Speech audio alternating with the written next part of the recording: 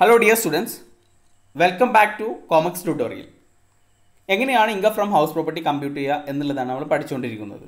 Income from house property compute ചെയ്യുമ്പോൾ first gross annual value calculate ചെയ്യണം. Gross annual വാല്യൂവിൽ നിന്ന് മുനിസിപ്പൽ ടാക്സ് ലെസ് ചെയ്ത് കഴിഞ്ഞാൽ നെറ്റ് ആനുവൽ വാല്യൂ കിട്ടും. ഈ നെറ്റ് ആനുവൽ വാല്യൂവിൽ നിന്ന് deduction under section twenty four twenty four A standard ഡിഡക്ഷനും twenty four B interest on borrowed ക്യാപിറ്റലും deduct ചെയ്ത് കഴിഞ്ഞാൽ നമുക്ക് ഇൻകം ഫ്രം ഹൗസ് പ്രോപ്പർട്ടി കിട്ടും.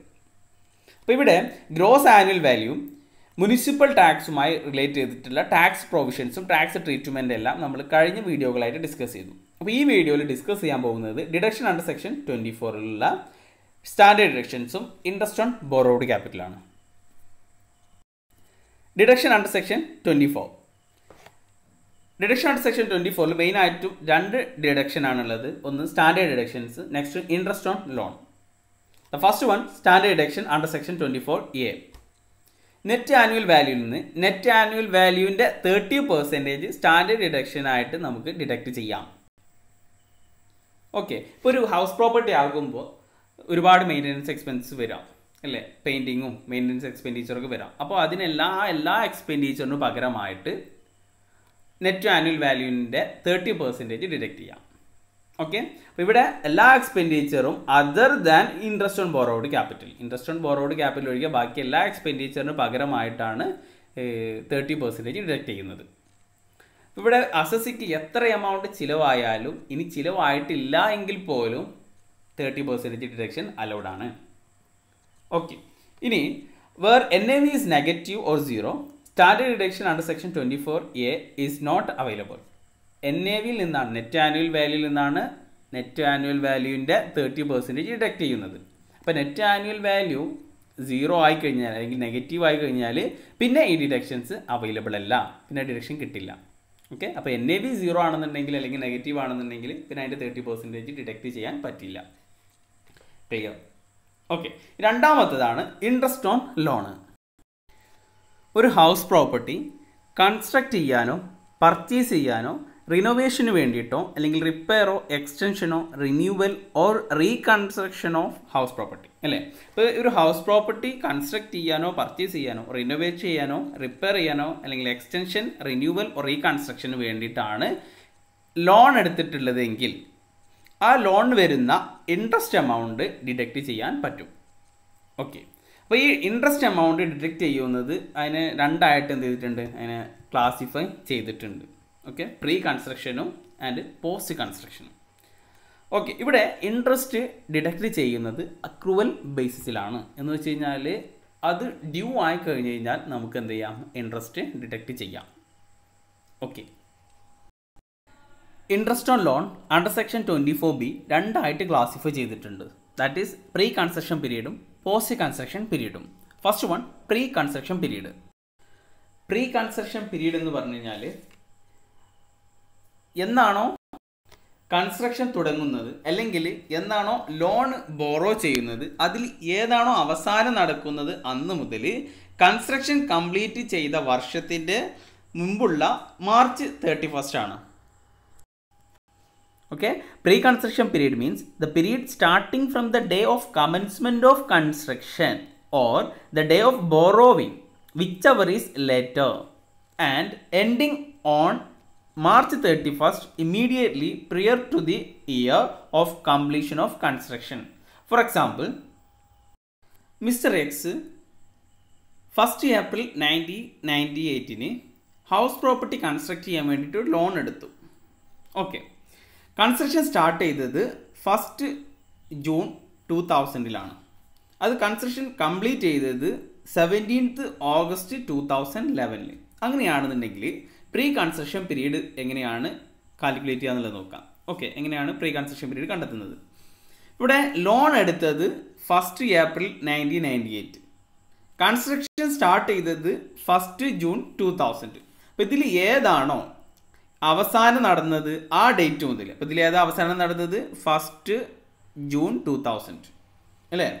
അന്ന് മുതൽ എന്നാണോ കൺസ്ട്രക്ഷൻ കംപ്ലീറ്റ് ചെയ്തത്?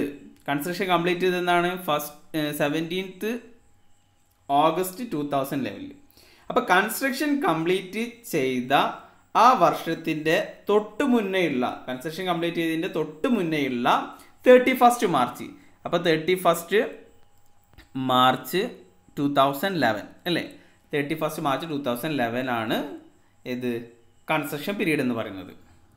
അപ്പോൾ കൺസ്ട്രക്ഷൻ പീരീഡ് എന്ന് പറഞ്ഞു കഴിഞ്ഞ് കഴിഞ്ഞാൽ first June two thousand to thirty first March two thousand eleven clear ഇവിടെ നമ്മൾ ചെയ്തതെങ്ങനെയാണ് എന്നാണോ ലോൺ എടുത്തത് അല്ലെങ്കിൽ കൺസ്ട്രക്ഷൻ സ്റ്റാർട്ട് ചെയ്തത് എന്നാണോ ഇതിൽ ഏതാണ് അവസാനം നടക്കുന്നത് ആ ഡേറ്റ് മുതൽ കൺസ്ട്രക്ഷൻ കംപ്ലീറ്റ് ചെയ്ത ഡേറ്റിന്റെ തൊട്ട് മുന്നേയുള്ള തേർട്ടി ഫസ്റ്റ് മാർച്ച് ഈ പീരീഡാണ് കൺസ്ട്രക്ഷൻ പീരീഡ് എന്നുള്ളത്. അപ്പോൾ construction period is equal to first June two thousand twenty to thirty first March two thousand eleven okay clear ഇനി ഇതിന്റെ ടാക്സ് ട്രീറ്റ്മെന്റ് നോക്കാം. ടാക്സ് ട്രീറ്റ്മെന്റ് വരുന്നത് പ്രീ കൺസ്ട്രക്ഷൻ പീരീഡിൽ വന്ന ഇൻട്രസ്റ്റ് എത്രയാണോ അത് മുഴുവനും ഫൈവ് ഈക്വൽ ഇൻസ്റ്റാൾമെന്റ് ആയിട്ട് കൺസ്ട്രക്ഷൻ കംപ്ലീറ്റ് ചെയ്തതിന് ശേഷം ഡിഡക്റ്റ് ചെയ്യാം. ഓക്കെ അപ്പോൾ കൺസ്ട്രക്ഷൻ കംപ്ലീറ്റ് ചെയ്ത ശേഷം ഓരോ വർഷവും അഞ്ച് തവണയായിട്ട് ഈ പ്രീ കൺസ്ട്രക്ഷൻ പീരീഡിലുള്ള എല്ലാ ഇൻട്രസ്റ്റും ഡിഡക്ട് ചെയ്യാൻ പറ്റും. Okay interest for pre construction period will be accumulated and claimed as a deduction over a period of five continuous year in equal instalment commencing from from the year of completion of construction clear interest on ലോണിൽ pre construction period നമ്മൾ അതിന്റെ tax treatment നമ്മൾ complete ചെയ്തു. Next one post construction period post construction period എന്ന് പറഞ്ഞു കഴിഞ്ഞാൽ construction complete ചെയ്ത വർഷത്തിന്റെ ബിഗിനിങ് മുതൽ ഫസ്റ്റ് ഏപ്രിൽ മുതൽ. എന്ന് വെച്ച് കഴിഞ്ഞാൽ ഇപ്പോൾ കൺസ്ട്രക്ഷൻ കംപ്ലീറ്റ് ചെയ്തത് നേരത്തെ എക്സാമ്പിൾ ആണെന്നുണ്ടെങ്കിൽ seventeenth August two thousand eleven ആണ്. അങ്ങനെയാണെന്നുണ്ടെങ്കിൽ പോസ്റ്റ് കൺസ്ട്രക്ഷൻ പീരീഡ് സ്റ്റാർട്ട് ചെയ്യുന്നത് ആ വർഷത്തിന്റെ beginning that is first April two thousand eleven അന്ന് മുതൽ എന്നാണോ ലോൺ മുഴുവനായിട്ടും റീപേ ചെയ്യുന്നത് അതുവരെയാണ് പോസ്റ്റ് കൺസ്ട്രക്ഷൻ പീരീഡ് എന്ന് പറയുന്നത്.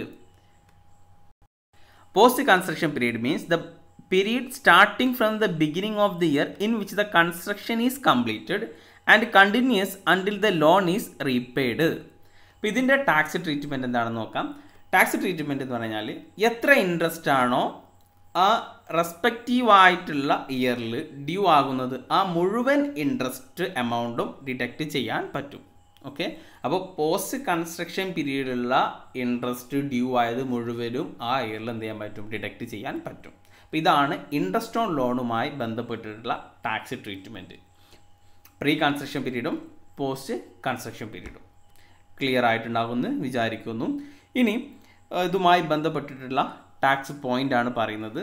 Other points interest on borrowed capital is allowed on accrual basis അപ്പോൾ നേരത്തെ പറഞ്ഞതാണ് ഇൻട്രസ്റ്റ് ഓൺ ബോറോഡ് ക്യാപിറ്റലിൽ ഡിഡക്റ്റ് ചെയ്യാൻ പറ്റുന്നത് അക്രൂവൽ ബേസിസ് ആണ്. ഏത് എത്രയാണ് എമൗണ്ട് ഡ്യൂ ആയിട്ടുള്ളത്? ഓക്കെ ആ ഡ്യൂ ആയിട്ടുള്ള എമൗണ്ട് ഡിഡക്റ്റ് ചെയ്യാം. അപ്പോൾ പേ ചെയ്താലും പേ ചെയ്തിട്ടില്ലെങ്കിലും നമുക്ക് ഡിഡക്റ്റ് ചെയ്യാൻ പറ്റും. അസസിക്ക് എന്ത് ചെയ്യാൻ പറ്റും? ഡിഡക്റ്റ് ചെയ്യാൻ പറ്റും. ഓക്കെ ഡ്യൂ ആയിട്ടുണ്ടെങ്കിൽ ഇൻട്രസ്റ്റ് കൊടുക്കാൻ ആയി കഴിഞ്ഞ് കഴിഞ്ഞാൽ അത് ഡിഡക്റ്റ് ചെയ്യാം. The next point interest paid on fresh loan which is taken to repay the original loan shall be allowed as a deduction അപ്പോൾ ഒരു ലോണ് ഇപ്പോൾ ഇൻട്രസ്റ്റ് കൺസ്ട്രക്ഷന് വേണ്ടിയിട്ട് നമ്മളൊരു ലോൺ എടുത്തിട്ടുണ്ട്. അത് റീപേ ചെയ്യാൻ വേണ്ടിയിട്ട് വേറൊരു ലോൺ എടുത്തു കഴിഞ്ഞ് കഴിഞ്ഞാൽ ആ ലോണ് മുഴുവനും റീപേ ചെയ്യാൻ വേണ്ടിയിട്ട് ഒരു ഫ്രഷ് ലോൺ എടുത്തു കഴിഞ്ഞാൽ ആ ലോണിന് വരുന്ന ഇൻട്രസ്റ്റ് ഡിഡക്റ്റ് ചെയ്യാൻ പറ്റും. ഓക്കെ ഇനി interest on new loan taken for paying outstanding interest on old loan is not deductible അവിടെ ശ്രദ്ധിക്കുക. ഇൻട്രസ്റ്റ് റീപേ ചെയ്യാൻ വേണ്ടിയിട്ടാണ് ഒരു ലോൺ എടുത്തതെങ്കിൽ. അപ്പോൾ ന്യൂ ലോണ് ന്യൂ ലോൺ എടുത്തത് എന്തിനു വേണ്ടിയിട്ടാണ്? എന്താ പറയുക ഇൻട്രസ്റ്റ് ഔട്ട്സ്റ്റാൻഡിങ് ഉള്ളത് ഓൾഡ് ലോണിന്റെ ഇൻട്രസ്റ്റ് ഔട്ട്സ്റ്റാൻഡിങ് ഉള്ളത് പേ ചെയ്യാൻ വേണ്ടിയിട്ട് പുതിയൊരു ലോൺ എടുത്തു. അങ്ങനെയാണെന്നുണ്ടെങ്കിൽ ആ ലോണിനൊരു ഇൻട്രസ്റ്റ് വരും. ആ ഇൻട്രസ്റ്റ് എന്ത് ചെയ്യാൻ പറ്റില്ല? ഡിറ്റക്റ്റ് ചെയ്യാൻ പറ്റില്ല. നേരത്തെ പറഞ്ഞ രണ്ടാമത്തെ പോയിന്റിൽ എന്താ പറഞ്ഞത്? നമ്മൾ ഒരു ലോൺ എടുത്ത് ആ ലോൺ അടക്കാൻ വേണ്ടിയിട്ട് വേറെ ലോൺ എടുത്തു. അങ്ങനെയാണെന്നുണ്ടെങ്കിൽ ആ പുതുതായിട്ട് എടുത്ത ലോണിന്റെ ഇൻട്രസ്റ്റ് ഡിറ്റക്ട് ചെയ്യാൻ പറ്റും. എങ്കിൽ മൂന്നാമത്തെ പോയിന്റ് നമ്മൾ പറഞ്ഞത് ഒന്നുകൂടി പറയാം. ഇൻ ഓൾഡ് ലോണിന്റെ ഇൻട്രസ്റ്റ് പേ ചെയ്യാൻ വേണ്ടിയിട്ട് ഇൻട്രസ്റ്റ് പേ ചെയ്യാൻ വേണ്ടിയിട്ട് അവിടെ ശ്രദ്ധിക്കുക ഇൻട്രസ്റ്റ് പേ ചെയ്യാൻ വേണ്ടിയിട്ട് പുതിയൊരു ലോൺ എടുത്തു. അങ്ങനെയെങ്കിൽ ആ ലോണിന് വരുന്ന ഇൻട്രസ്റ്റ് ഡിഡക്റ്റ് ചെയ്യാൻ പറ്റില്ല. ക്ലിയർ നാലാമത്തെ പോയിന്റ് പറയുന്നത് amount paid as a brokerage commission for arrangement of the loan is not deductible അപ്പോൾ ലോൺ എടുക്കാൻ വേണ്ടിയിട്ട് ഉള്ള ബ്രോക്കറേജും കമ്മീഷൻസും അതൊന്നും ഡിഡക്റ്റ് ചെയ്യാൻ പറ്റില്ല. The last point interest on loan taken for payment of municipal tax etcetera is not allowed as a deduction അപ്പോൾ മുനിസിപ്പൽ ടാക്സ് പേ ചെയ്യാൻ വേണ്ടിയിട്ട് ലോൺ എടുത്തിട്ടുണ്ട്. അതിന് വരുന്ന ഇൻട്രസ്റ്റും എന്ത് ചെയ്യാൻ പറ്റില്ല ഡിഡക്റ്റ് ചെയ്യാൻ പറ്റില്ല. അപ്പോൾ ഇതാണ് ഡിഡക്ഷനുമായി ഇൻട്രസ്റ്റുമായി ബന്ധപ്പെട്ടുള്ള ഡിഡക്ഷന് റിലേറ്റ് ചെയ്തിട്ടുള്ള പോയിന്റ് ക്ലിയർ ഇനി amount non deductible from income from house property under section twenty four അപ്പോൾ ഒരു ഇൻട്രസ്റ്റ് നമുക്ക് ഡിഡക്റ്റ് ചെയ്യാൻ പറ്റില്ല. ഇൻകം ഫ്രം ഹൗസ് പ്രോപ്പർട്ടിയുമായി ബന്ധപ്പെട്ടിട്ടുള്ള ഇൻട്രസ്റ്റ് ഡിഡക്റ്റ് ചെയ്യാൻ പറ്റില്ല. എങ്ങനെയാണെന്നുണ്ടെങ്കിൽ എന്നുള്ളതാണ്. Any interest chargeable under this act which is payable outside India which is not allowed as a deduction if അപ്പോൾ ഇൻട്രസ്റ്റ് ഔട്ട്സൈഡ് ഇന്ത്യയിൽ പേ ചെയ്താണെന്നുണ്ടെങ്കിൽ ഡിഡക്ഷൻ അലൗഡ് അല്ല. എങ്ങനെയാണെന്നുണ്ടെങ്കിൽ ആ interest T D S cut ചെയ്യാതെയാണ് പേ ചെയ്തിട്ടുണ്ടെങ്കിൽ. ടി ഡി എസ് അപ്പോൾ നമ്മൾ ഒരു ഹൗസ് പ്രോപ്പർട്ടി ഔട്ട് ഔട്ട്സൈഡ് ഇന്ത്യയിലുണ്ട്. അല്ലെങ്കിൽ സോറി ഒരു ഹൗസ് പ്രോപ്പർട്ടിക്ക് വേണ്ടിയിട്ട് നമ്മൾ ഔട്ട് സൈഡ് ഇന്ത്യയിൽ നിന്ന് ലോൺ എടുത്തിട്ടുണ്ട്. ഓക്കെ ഇന്ത്യയുടെ പുറത്തുനിന്ന് ഒരു ലോൺ എടുത്തിട്ടുണ്ട്. അങ്ങനെയാണെന്നുണ്ടെങ്കിൽ ഇൻട്രസ്റ്റും ഔട്ട് സൈഡ് ഇന്ത്യയിൽ പേ ചെയ്യേണ്ടി വരും. ഓക്കെ ആ സിറ്റുവേഷനിൽ ഇൻട്രസ്റ്റ് ഔട്ട് സൈഡ് ഇന്ത്യയിൽ പേ ചെയ്യുമ്പോൾ ടി ഡി എസ് കട്ട് ചെയ്യാതെയാണ് pay ചെയ്യുന്നതെങ്കിലും and in respect of such interest there is no person in India who may be treated as an agent ഇപ്പം ഇന്ത്യയിൽ ഒരു വ്യക്തിയും ഏജന്റ് ആയിട്ട് ട്രീറ്റ് ചെയ്യാൻ പറ്റാത്ത ആ സിറ്റുവേഷൻ ആണെന്നുണ്ടെങ്കിൽ ഈ രണ്ട് സിറ്റുവേഷന് ആണെന്നുണ്ടെങ്കിൽ ആ ഇൻട്രസ്റ്റ് എമൗണ്ട് ഹൗസ് പ്രോപ്പർട്ടിയിൽ നിന്ന് ഡിഡക്റ്റ് ചെയ്യാൻ പറ്റില്ല.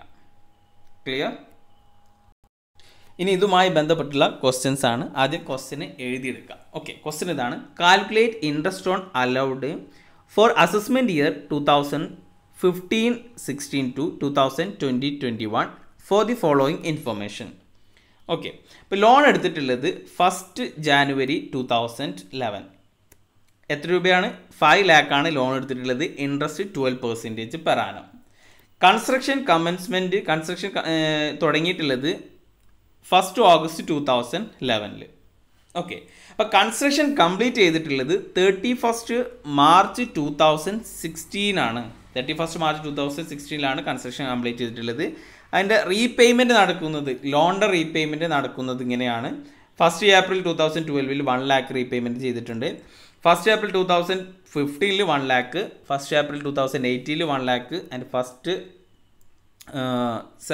one seven two thousand നയന്റീനിൽ one lakh okay അപ്പോൾ ഈ ക്വസ്റ്റ്യൻസ് നല്ലവണ്ണം എഴുതിയെടുത്തതിന്റെ ശേഷം നമുക്ക് ആൻസറിലേക്ക് പോകാം അപ്പോൾ ആദ്യം നിങ്ങളൊരു ബുക്ക് എടുക്കുക അതിൽ ക്വസ്റ്റ്യൻസ് എഴുതാം എന്നിട്ട് നമുക്ക് ആൻസർ ചെയ്യാം. അപ്പോൾ ഇവിടെ പ്രീ കൺസ്ട്രക്ഷൻ പീരീഡ് എന്ന് പറഞ്ഞു കഴിഞ്ഞാൽ ഏതാണ്? ഓക്കെ ലോൺ എടുത്തിട്ടുള്ളത് first January two thousand eleven അതിന്റെ കൺസ്ട്രക്ഷൻ കമൻസ് ചെയ്തിട്ടുള്ളത് തുടങ്ങിയിട്ടുള്ളത് ഫസ്റ്റ് ഓഗസ്റ്റ് ടു തൗസൻഡ് ലെവനിലാണ് അങ്ങനെയാണെന്നുണ്ടെങ്കിൽ ഇതിൽ ഏതാണോ അവസാനം നടന്നത്? ഏതാ നടന്നത്? First August two thousand eleven അന്ന് മുതൽ എന്നാണോ കൺസ്ട്രക്ഷൻ കംപ്ലീറ്റ് ചെയ്തത്? അതിന്റെ തൊട്ട് മുന്നേയുള്ള തേർട്ടി ഫസ്റ്റ് മാർച്ചാണ് അല്ലേ? എന്നാൽ കൺസ്ട്രക്ഷൻ കംപ്ലീറ്റ് ചെയ്ത് thirty first March two thousand sixteen അങ്ങനെയാണെങ്കിൽ അതിന്റെ തൊട്ട് മുന്നേയുള്ള thirty first March ഏതാകും? Thirty first March two thousand fifteen അപ്പോൾ construction period pre construction period എന്ന് പറഞ്ഞു കഴിഞ്ഞാൽ first August two thousand eleven to thirty first March two thousand fifteen വരെയാണ്. അപ്പോൾ പോസ്റ്റ് കൺസ്ട്രക്ഷൻ പീരീഡ് എന്ന് പറഞ്ഞു കഴിഞ്ഞാൽ first April two thousand fifteen to പിന്നെ എന്നാണോ റീപേയ്മെന്റ് ആ ലോണ് റീപേ ചെയ്യുന്നത് അതുവരെയുള്ളതാണ്. ഓക്കെ അപ്പോൾ ഇനി നമുക്ക് ആൻസറിലേക്ക് കടക്കാം. അപ്പോൾ നമുക്ക് ഇവിടെ പ്രീ കൺസ്ട്രക്ഷൻ പീരീഡ് കാൽക്കുലേറ്റ് ചെയ്തു. അപ്പോൾ പ്രീ കൺസ്ട്രക്ഷൻ പീരീഡ് കാൽക്കുലേറ്റ് ചെയ്യുമ്പോൾ ഈ വർഷത്തിലുള്ള മൊത്തം ഇൻട്രസ്റ്റ് എന്ത് ചെയ്യുക? കാൽക്കുലേറ്റ് ചെയ്യുക. അപ്പോൾ ഈ പ്രീവിയസ് അല്ല ഇയർ ലെവൻ ട്വൽവിലാണെന്നുണ്ടെങ്കിൽ ലെവൻ ട്വൽവിലാണെന്നുണ്ടെങ്കിൽ അവിടെ ലെവൻ ട്വൽവിൽ എത്ര മാസമുള്ളോ? എട്ട് ഒൻപത് പത്ത് പതിനൊന്ന് പന്ത്രണ്ട് ജനുവരി ഫെബ്രുവരി മാർച്ച്. മൊത്തം എട്ട് മാസമാണ് ഇനിയുള്ളത്. അപ്പോൾ ലെവൻ ട്വൽവിൽ ഇയർ ലെവൻ ട്വൽവിൽ എട്ട് മാസവും ബാക്കിയുള്ള മാസങ്ങളിലൊക്കെ പന്ത്രണ്ട് ഉണ്ട് അല്ലേ? കംപ്ലീറ്റ് ചെയ്യുന്നത് വരെ ബാക്കി പന്ത്രണ്ട് മാസം ഉണ്ടാവും ഓക്കെ അപ്പോൾ ഇനി നമുക്ക് ഇൻട്രസ്റ്റ് കാൽക്കുലേറ്റ് ചെയ്ത് നോക്കാം. പ്രീ കൺസ്ട്രക്ഷൻ പീരീഡിലെ ഇൻട്രസ്റ്റ് ആദ്യം കാൽക്കുലേറ്റ് ചെയ്യാം. ഞാൻ പറഞ്ഞു ഇയർ ലെവൻ ട്വൽവിൽ പ്രീവിയസ് ഇയർ ലെവൻ ട്വൽവിലാണെന്നുണ്ടെങ്കിൽ അവിടെ എട്ട് മാസമേ ഉള്ളൂ. എത്രയാണ് ലോൺ എടുത്തിട്ടുള്ളത്? ഫൈവ് ലാക്ക് ലോൺ എടുത്തിട്ടുണ്ട്.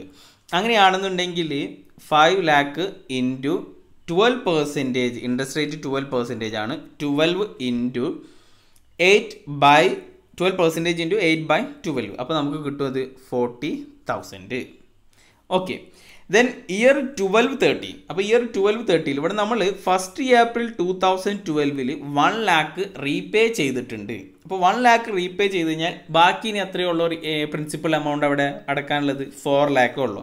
അപ്പോൾ ഇയർ ട്വൽവ് തേർട്ടിയിൽ ബാക്കിയുള്ള എമൗണ്ടിന് ബാക്കിയുള്ള എമൗണ്ട് വൺ ലാക്ക് റീപേ ചെയ്തിട്ടുണ്ട്. അപ്പോൾ ബാക്കി എത്രയാണ്? ഇനി ഫോർ ലാക്ക് ഉള്ളൂ. അപ്പോൾ ഫോർ ലാക്കിന് ഇൻട്രസ്റ്റ് കൊടുത്താൽ മതി. ക്ലിയർ അപ്പോൾ ഫോർ ലാക്ക് അപ്പോൾ ഇയർ ട്വൽവ് തേർട്ടീനിൽ ഫോർ ലാക്കാണ് ഇനി എമൗണ്ട് അവിടെ ഉണ്ടാവുക. കാരണം എന്താണ്? വൺ ലാക്ക് നമ്മൾ റീപേ ചെയ്തു. അപ്പോൾ ഫോർ ലാക്കിന് ട്വൽവ് പെർസെന്റേജ് ഇൻട്രസ്റ്റ് ഒരു വർഷത്തേക്കാണെന്നുണ്ടെങ്കിൽ forty eight thousand then thirteen fourteen four ലാക്കിന് forty eight thousand വരും then four fourteen fifteen four ലാക്കിന് ഒരു വർഷത്തേക്കുള്ള ഇൻട്രസ്റ്റ് ഫോർട്ടി എയ്റ്റ് തൗസൻഡ് അപ്പോൾ ഇവിടെ first April two thousand fifteen വരെ പിന്നെ എന്ത് ചെയ്തിട്ടില്ല? റീപേ ചെയ്തിട്ടില്ല. ഓക്കെ അല്ലേ? First April two thousand fifteen first April two thousand fifteen വരെ റീപേ ചെയ്തിട്ടില്ല. അങ്ങനെയാണെന്നുണ്ടെങ്കിൽ മൊത്തം പ്രീ കൺസ്ട്രക്ഷൻ പീരീഡിലുള്ള ഇൻട്രസ്റ്റ് എന്നുള്ളത് one lakh eighty four thousand ആണ്. ക്ലിയർ ഇതൊക്കെ കൂടി കൂട്ടിക്കഴിഞ്ഞാൽ. ഇനി എത്രയാണത് ഓരോ വർഷവും നമുക്ക് ഡിഡക്റ്റ് ചെയ്യുക എന്നുള്ളതാണ്. അപ്പോൾ അഞ്ച് ഈ മൊത്തം ഇൻട്രസ്റ്റ് അഞ്ച് വർഷം അഞ്ച് ഈക്വൽ ഇൻസ്റ്റാൾമെന്റ് ആയിട്ട് എന്നാണോ കൺസ്ട്രക്ഷൻ കംപ്ലീറ്റ് ചെയ്യുന്നത്? അന്ന് മുതൽ അഞ്ച് വർഷമായിട്ട് നമുക്ക് എന്ത് ചെയ്യാം? ഈ ഡിഡക്റ്റ് ചെയ്യാം. ഓക്കെ അപ്പോൾ ഓരോ വർഷം എത്ര എമൗണ്ട് ഡിഡക്റ്റ് ചെയ്യാൻ പറ്റും? One lakh eighty four thousand divided by five അഞ്ച് ഈക്വൽ ഇൻസ്റ്റാൾമെന്റ് അങ്ങനെയാണെങ്കിൽ thirty six thousand eight hundred നമുക്ക് പ്രീവിയസ് ഇയർ അല്ലെങ്കിൽ പോസ്റ്റ് കൺസ്ട്രക്ഷൻ പീരീഡ് എന്നാണോ സ്റ്റാർട്ട് ചെയ്യുന്നത്? എന്നാണ് post construction period construction complete ചെയ്യുന്നത് എന്നാണ് ടു തൗസൻഡ് ഫിഫ്റ്റീൻ സിക്സ്റ്റീൻ മുതൽ നമുക്ക് ഓരോ വർഷവും ആയിട്ട് ഈ thirty six thousand eight hundred deduct ചെയ്യാം അപ്പോൾ fifteen സിക്സ്റ്റീനിൽ thirty six thousand eight deduct ചെയ്യാം. അങ്ങനെ ബാക്കി അങ്ങനെ ഓരോ വർഷവും അഞ്ച് ഈക്വൽ ഇൻസ്റ്റാൾമെന്റ് ആയിട്ട് നമുക്ക് ആ എമൗണ്ട് ഡിഡക്റ്റ് ചെയ്യാൻ പറ്റും. ക്ലിയർ ഇനി പോസ്റ്റ് കൺസ്ട്രക്ഷൻ പീരീഡ് സ്റ്റാർട്ട് ചെയ്യുന്നത് എന്നാണ്? ഇവിടെ ആ pre construction period thirty first March two thousand fifteen end ആയി കഴിഞ്ഞാൽ പിന്നെ പോസ്റ്റ് കൺസ്ട്രക്ഷൻ പീരീഡ് സ്റ്റാർട്ട് ചെയ്യുന്നത് first April two thousand fifteen to അങ്ങനെയാണ്. എന്നാണ് ലോൺ റീപേ ചെയ്യുന്ന ഡേറ്റ് ഒന്നും ഇവിടെ പറഞ്ഞിട്ടില്ല. ഇവിടെ four five ലാക്കിലുള്ളത് one lakh one lakh two lakh three lakh four okay four lakh repay ചെയ്തിട്ടുണ്ട്. അപ്പോൾ വൺ ലാക്ക് റീപേ ചെയ്യാനുണ്ട്. ഓക്കെ അപ്പോൾ എൻഡ് ചെയ്യുന്ന ഡേറ്റ് ഇവിടെ തന്നിട്ടില്ല. ഓക്കെ അപ്പോൾ പ്രീ കൺസ്ട്രക്ഷൻ പീരീഡിലുള്ള ഇൻട്രസ്റ്റ് എങ്ങനെ കാൽക്കുലേറ്റ് ചെയ്തെന്നുള്ളത് മനസ്സിലായിട്ടുണ്ടാവും. ഇനി പോസ്റ്റ് കൺസ്ട്രക്ഷൻ പീരീഡിലുള്ള ഇൻട്രസ്റ്റ് നമുക്ക് കാൽക്കുലേറ്റ് ചെയ്യാം. അപ്പോൾ ഞാൻ പറഞ്ഞു പോസ്റ്റ് കൺസ്ട്രക്ഷൻ പീരീഡ് സ്റ്റാർട്ട് ചെയ്യുന്നത് first April two thousand fifteen അപ്പോൾ previous year two thousand fifteen to മുതലാണ്. ഫിഫ്റ്റീൻ സിക്സ്റ്റി മുതലാണ് അങ്ങോട്ട് പോസ്റ്റ് കൺസ്ട്രക്ഷൻ ഇയർ സ്റ്റാർട്ട് ചെയ്യുന്നത്. ഓക്കെ അപ്പോൾ ഫിഫ്റ്റീൻ സിക്സ്റ്റിയിൽ നമുക്ക് ഇൻട്രസ്റ്റ് പേ ചെയ്യാനുള്ളത് എത്രയാണ്? തേർട്ടി സിക്സ് തൗസൻഡ് ആണ്. ആ വർഷം ഇൻട്രസ്റ്റ് ഡ്യൂ ആയിട്ടുള്ളത്. എങ്ങനെയാണ് തേർട്ടി സിക്സ് തൗസൻഡ് വന്നത്? That is three lakh into twelve percentage okay three lakh into twelve percentage thirty six thousand clear അപ്പോൾ ഇവിടെ ത്രീ ലാക്ക് വരാൻ കാരണം എന്ന് പറഞ്ഞാൽ ഇവിടെ ക്വസ്റ്റനിൽ ഫസ്റ്റ് ഏപ്രിൽ ടു തൗസൻഡ് ഫിഫ്റ്റിയിൽ വൺ ലാക്ക് റീപേ ചെയ്യുന്നുണ്ട്. അപ്പോൾ ബാക്കി ഇനി എത്ര ഉണ്ടല്ലോ അപ്പോൾ five ലാക്കിൽ one lakh first April two thousand ട്വൽവിൽ repay ചെയ്തു. ഫസ്റ്റ് ഏപ്രിൽ ടു തൗസൻഡ് ഫിഫ്റ്റീനിൽ വൺ ലാക്ക് റീപേ ചെയ്തു. അപ്പോൾ ഇനി ബാക്കി ത്രീ ലാക്കേ ഉള്ളൂ. അപ്പോൾ ത്രീ ലാക്കിന് ഒരു വർഷത്തേക്കുള്ള ഇൻട്രസ്റ്റ് ആണെന്നുണ്ടെങ്കിൽ thirty six thousand okay then sixteen സെവന്റിയിലാണെന്നുണ്ടെങ്കിൽ അപ്പോൾ അങ്ങനെ അങ്ങനെയാണെങ്കിൽ ഇവിടെ നോക്കുക പ്രീ കൺസ്ട്രക്ഷൻ പീരീഡിൽ എത്രയാണ് നമ്മൾ കാൽക്കുലേറ്റ് ചെയ്ത്? മുന്നേ കാൽക്കുലേറ്റ് ചെയ്ത് വെച്ച് thirty six thousand eight hundred plus thirty six thousand മൊത്തം seventy two thousand eight hundred total interest ആ വർഷം ഡിഡക്റ്റ് ചെയ്യാൻ പറ്റും. Year previous year fifteen sixteen okay ഇനി സിക്സ്റ്റീൻ സെവന്റിയിലാണെന്നുണ്ടെങ്കിൽ അതേപോലെ തന്നെയാണ് pre construction period thirty six thousand eight hundred post construction പീരീഡിലുള്ള interest എത്രയാണ്? ആ വർഷം വന്ന ഇൻട്രസ്റ്റ് ഡ്യൂ ആയിട്ടുള്ളത് തേർട്ടി സിക്സ് തൗസൻഡ് ആണ്. അതിൽ വലിയ മാറ്റമൊന്നും ഇല്ല. കാരണം ലോൺ റീപേ ചെയ്തിട്ടില്ല. ലോൺ റീപേ ചെയ്യുന്നത് പിന്നെ ലോൺ റീപേ ചെയ്യുന്നത് ഫസ്റ്റ് ഏപ്രിൽ ടു തൗസൻഡ് എയ്റ്റിയിലാണ് ഓക്കെ അപ്പോൾ എത്ര എമൗണ്ട് തേർട്ടി സിക്സ് തൗസൻഡ് ആണ്. അപ്പോൾ total seventy two thousand eight hundred then year seventeen എയ്റ്റിയിലും the same manner തന്നെയാണ്. അവിടെ ലോൺ റീപേ ചെയ്യണമെന്നില്ല. പോസ്റ്റ് കൺസ്ട്രക്ഷൻ പീരീഡിലും അതേ സെയിം ഇൻട്രസ്റ്റ് തന്നെയാണ് thirty six thousand eight hundred ഇനി ഇയർ എയ്റ്റീൻ നയന്റീൻ എയ്റ്റീൻ നയന്റീനിൽ ഫസ്റ്റ് ഏപ്രിൽ ടു തൗസൻഡ് എയ്റ്റിൽ loan repay ചെയ്യുന്നുണ്ട്. വൺ ലാക്ക് റീപേ ചെയ്യുന്നുണ്ട് അപ്പോൾ ഇനി എത്രയേ ഉണ്ടാവുള്ളൂ എയ്റ്റീൻ നയന്റീനിൽ ഇൻട്രസ്റ്റ് ബാക്കി ടു ലാക്ക് ഇനി ഡ്യൂ അല്ല പ്രിൻസിപ്പൽ എമൗണ്ട് പേ ചെയ്യാനുള്ളത് ഇനി ടു ലാക്ക് ഉള്ളൂ. അപ്പോൾ ടു ലാക്കിന് ഇൻട്രസ്റ്റ് കൊടുത്താൽ മതി. അങ്ങനെയാണെന്നുണ്ടെങ്കിൽ ടു ലാക്കിന്റെ ഇൻട്രസ്റ്റ് എന്ന് പറഞ്ഞു കഴിഞ്ഞാൽ ട്വൽവ് പെർസെന്റേജ് ഓക്കെ ടു ലാക്കിന്റെ ട്വൽവ് പെർസെന്റേജ് എത്രയാണ്? Twenty four thousand okay twenty four thousand അപ്പോൾ പ്രീവിയ പ്രീ കൺസ്ട്രക്ഷൻ പീരീഡിലെ തേർട്ടി സിക്സ് തൗസൻഡ് എയ്റ്റ് ഹൺഡ്രഡും ട്വന്റി ഫോർ തൗസൻഡ് കൂടി ആഡ് ചെയ്ത് കഴിഞ്ഞാൽ സിക്സ്റ്റി തൗസൻഡ് എയ്റ്റ് ഹൺഡ്രഡ് ആ വർഷം ഡിഡക്റ്റ് ചെയ്യാം. ഇനി year nineteen twenty pre construction period interest അത് തന്നെയാണ്. ഫൈവ് ഈക്വൽ ഇൻസ്റ്റാൾമെന്റ് ആയിട്ട് നമ്മളിപ്പോൾ ഡിഡക്ട് ചെയ്തു. Thirty six thousand eight hundred okay. അപ്പോൾ പ്രീ കൺസ്ട്രക്ഷൻ പീരീഡിൽ thirty six thousand eight hundred ഇനി പോസ്റ്റ് കൺസ്ട്രക്ഷൻ പീരീഡിൽ നോക്കാം. പോസ്റ്റ് കൺസ്ട്രക്ഷൻ പീരീഡിൽ നമ്മൾ ഇൻട്രസ്റ്റ് പേ ചെയ്യുന്നത് സോറി ലോൺ റീപേ ചെയ്യുന്നതെന്നാണ്. ഒന്ന് ഏഴ് രണ്ടായിരത്തി പത്തൊമ്പതാണ്. അപ്പോൾ നയന്റീൻ ട്വന്റിയിൽ ഓക്കെ പ്രീവിയസ് ഇയർ നയന്റീൻ ട്വന്റിയിൽ എത്ര ഇൻട്രസ്റ്റ് ആണ് നമ്മൾ റീപേ ചെയ്യുന്നുള്ളത് നോക്കണം. നയന്റീൻ ട്വന്റിയിൽ ശ്രദ്ധിക്കുക ടു ലാക്ക് മൂന്ന് മാസം വരെ ടു ലാക്ക് ഉണ്ടെന്ന് വെച്ചാൽ ഏപ്രിൽ മെയ് ജൂൺ അല്ലേ? ഏപ്രിൽ അല്ലേ? ജൂലൈ ഒന്നിനാണ് July first July two thousand നയന്റീനിലാണ് repay ചെയ്യുന്നത് വൺ ലാക്ക് അപ്പോൾ റീപേ ചെയ്ത് കഴിഞ്ഞാൽ ബാക്കി എത്ര എമൗണ്ട് ഉണ്ടാവുള്ളൂ? ഇനി വൺ ലാക്ക് ഉണ്ടാവുള്ളൂ. അപ്പോൾ first July two thousand nine first July two thousand നയന്റീനിൽ വരെ വെച്ചാൽ ആ ഇയർ ഇയർ നോക്കുകയാണെന്നുണ്ടെങ്കിൽ year nineteen ട്വന്റിയിൽ first April two thousand twenty to thirteenth June two thousand twenty വരെ ആ ടു ലാക്ക് അവിടെ ഉണ്ട്. ടു ലാക്ക് റീപേ ചെയ്യാനുണ്ട്.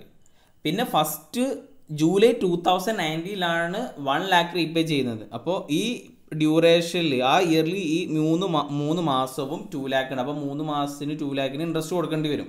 അല്ലേ? അപ്പോൾ two lakh into twelve percentage into three months അങ്ങനെയാണെന്നുണ്ടെങ്കിൽ സിക്സ് തൗസൻഡ് കിട്ടും. ദെൻ ബാക്കി വരുന്ന നയൻ മന്ത്സിന് അവിടെ എത്ര ഉണ്ടാവുള്ളൂ? ബാക്കി എത്ര? വൺ ലാക്ക് ഇനി പേ ചെയ്യാനുള്ളൂ. അപ്പോൾ വൺ ലാക്കിന് ട്വൽവ് പെർസെന്റേജ് ഇൻട്രസ്റ്റിൽ നയൻ മന്ത്സിൽ നോക്കുകയാണെന്നുണ്ടെങ്കിൽ nine thousand so that is fifteen thousand total എത്ര വരും? ആ post construction period interest year ninety ട്വന്റിയിൽ fifteen തൗസൻഡാണ് വരിക. ഓക്കെ അങ്ങനെയാണെന്നുണ്ടെങ്കിൽ total thirty six thousand thirty six thousand eight hundred plus fifteen thousand fifty one thousand eight hundred കിട്ടും okay അപ്പോൾ കൺസ് എന്താ പറയുക ഡിഡക്ഷൻ ആർട്ട് സെക്ഷൻ ട്വന്റി ഫോറുമായി ബന്ധപ്പെട്ടിട്ട് ഉള്ള ഡിഡക്ഷൻസ് ആണ് പറഞ്ഞത്. അപ്പോൾ അവിടെ നമ്മൾ കാൽക്കുലേഷൻ തരുമ്പോൾ ഇയറിന് അല്ലെങ്കിൽ ഡേറ്റിന് വളരെ ഇമ്പോർട്ടന്റ് ആണ്. അപ്പോൾ ഡേറ്റ് നോക്കിയിട്ട് വേണം പ്രോബ്ലം ചെയ്യാൻ. ഓക്കെ? അതേപോലെ എന്നാണ് കൺസ്ട്രക്ഷൻ സ്റ്റാർട്ട് ചെയ്തത്? ലോൺ എന്നാണ് എടുത്തത്? കംപ്ലീറ്റ് ചെയ്തത് എന്നാണെന്നുള്ള കാര്യങ്ങളൊക്കെ കറക്റ്റായിട്ട് നോട്ട് ചെയ്ത് വെച്ചിട്ട് അതിന് ആൻസർ ചെയ്യാം. അപ്പോൾ പ്രീ കൺസ്ട്രക്ഷൻ പീരീഡും പോസ്റ്റ് കൺസ്ട്രക്ഷൻ പീരീഡും ആണ് കുറച്ച് അല്ല പ്രീ കൺസ്ട്രക്ഷൻ പീരീഡാണ് അതിൽ കുറച്ച് കാൽക്കുലേഷൻ ഉള്ളത്. അതൊന്ന് ക്ലിയർ ആക്കുക. ഓക്കെ? അപ്പോൾ ഇത്രയാണ് സെക്ഷൻ അണ്ടർ സെക്ഷൻ ട്വന്റി ഫോറിലെ ഡയറക്ഷനുമായി ബന്ധപ്പെട്ടത് നെക്സ്റ്റ് വീഡിയോയിൽ നമ്മൾ നെക്സ്റ്റ് ടോപ്പിക്ക് ഐ മീൻസ് ഇതിന്റെ ബാക്കി ഡിസ്കസ് ചെയ്യും. അപ്പോൾ thank you thank you for watching